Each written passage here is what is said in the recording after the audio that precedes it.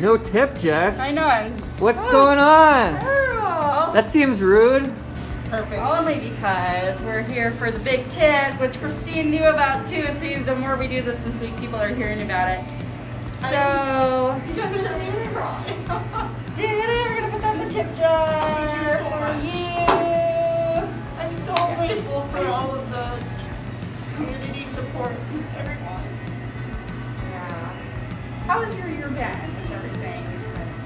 Um, of course I'm down, you know, but um, I've I've so truly been blessed by all the, the support in the local community and the, the extra things that are happening. You know, the people are brainstorming and being creative and doing so many different things, and um, and this is the the people that are just coming out are just helping and supporting my business and and you know I I can't be more blessed. Good. Yes, so thank you, thank you, thank you.